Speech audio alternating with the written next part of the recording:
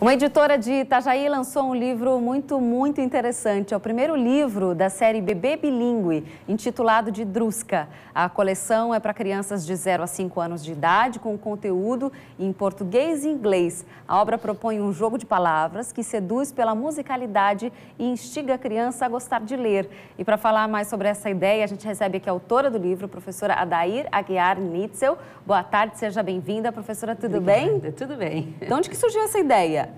Então, eu sou professora de literatura da Univale, é, do programa de mestrado e doutorado em educação, e eu trabalhei já bastante tempo também na rede estadual de educação, como professora de literatura. E durante esse tempo todo, como professora de literatura, nós sentimos sempre muita dificuldade de nós termos um material de qualidade e bom para as crianças da educação infantil, porque nós temos muitos livros, né, para a educação infantil. Mas a questão também é a qualidade. É um livro que seja concebido como arte, porque literatura é arte e precisa entrar como arte na escola, né? E a ideia do bilíngue, porque nós estamos num período de que muitas escolas fazem uso do ensino do inglês, e ele não é só bilíngue português e inglês, ele tem a versão português-francês também. Olha que legal. E a ideia de que a criança, ela, nós sabemos, é, é quanto mais cedo ela aprender uma língua é, não materna, né, é melhor. É, vai ser difícil uma pessoa de 30, 40 anos aprender tão bem uma língua Com estrangeira certeza. do que uma criança, né? Existe uma plasticidade do cérebro que permite que essa criança aprenda com muita, muito mais facilidade essa língua. Ô, ô professora, e assim, ó, quando a gente fala em, em, criança, né, de 0 a 5 anos, ah, tem uma faixa etária aí que é antes da alfabetização. Isso. Então, como, a gente deve estar se perguntando, né, o pessoal de casa também, como isso, né? Como que a gente vai falar de um outro idioma e de leitura e de literatura para crianças que não foram alfabetizadas ainda?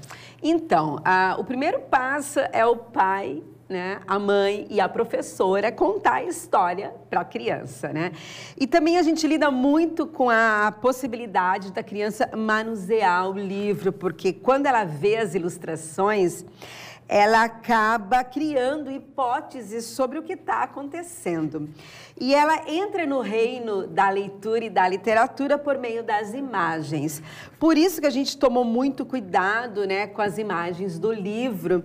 Quem ilustrou é uma egressa do CAL da Univale, que é minha filha hoje, a Mariana Guiar Neitz, minha filha hoje sempre, né?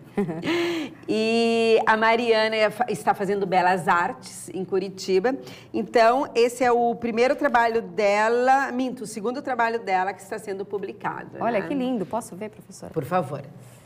Então, a criança ela vai entrar nesse reino da literatura, primeiro em contato com a obra, é, na relação dela com a imagem, e segundo, escutando o pai a mãe, a professora, contando histórias para ela.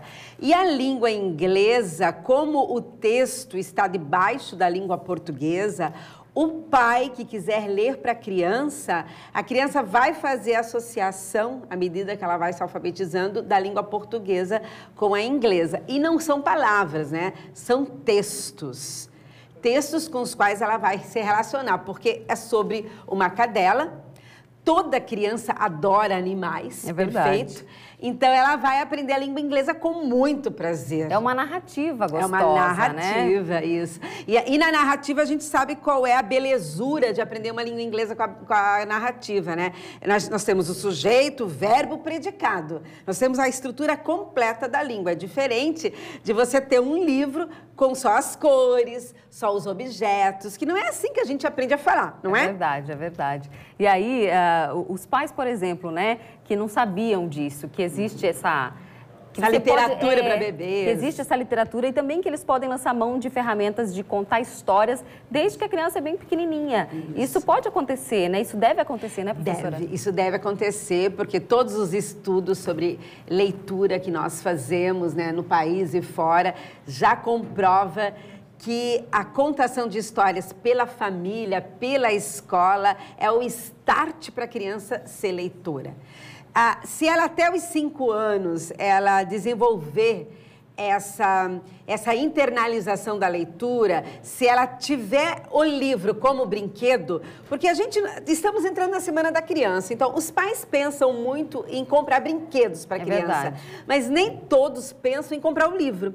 E a ideia é que o livro entre na vida da criança como um brinquedo e não como uma obrigação, Exato. porque normalmente é como entra, né? Exato. Então aí, a questão é como entra, é, né? E aí já vem uma carga negativa, né? Porque Exato. tem que, tem, tem que. que não. Então a não. criança vai ganhar o livro, vai ler com o pai, com a mãe, com a professora, e esse livro vai estar presente na vida dela como o brinquedo está. Maravilha. Obrigada, professora, pela Imagina. entrevista. Parabéns, lindo trabalho, lindas ilustrações, linda pela ideia. Pela editora da Univale. É, né? com e certeza. Está disponível também no site Amazon e no espaço físico da editora da Univale, que fica na frente da, da Biblioteca Central aqui em Itajaí. Então tá certo. Obrigada, professora. Obrigada pelas uh, informações e sucesso aí com Obrigada.